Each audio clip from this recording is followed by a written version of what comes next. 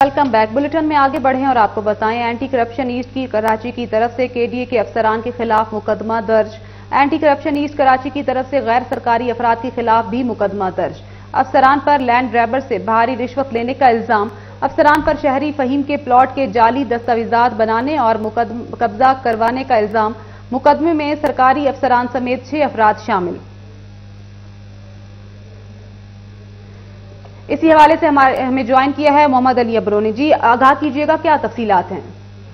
जी, बिल्कुल anti corruption committee number एक की मंजूरी के बाद के डी ए के अफसरान पर रुश्वत लेकर प्लाट के जाली दस्तावेज़ बनाने पर एफआईआर दर्जी, दर्ज कर ली गई है। एफ़ आई ए में सरकारी और गैर सरकारी छह अपराध को नॉमिनेट किया गया है, जिसमें additional director K D A Nadeem Siddiqui executive engineer Aurangzeb और गैर सरकारी अफराद शोएब अहमद, मोहम्मद खालिद, मोहम्मद अशरफ और मोहम्मद नईम ईदी शामिल है।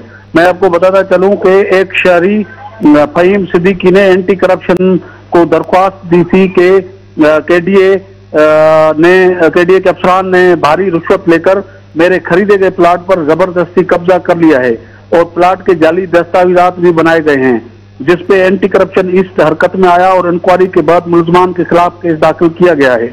जबकि एफआईआर में 409, 771, 428, 820 सेक्शन शामिल किए गए हैं। एंटी करप्शन इसका कहना है कि मुलजमान के खिलाफ मुकदमा दर्ज हो चुका है। कानून के मुताबिक कार्रवाई अमल में लाई जाएगी। जी। बहुत शुक्रिया मोहम्मद अली अब्रो हमें आगाह कर रहे थे।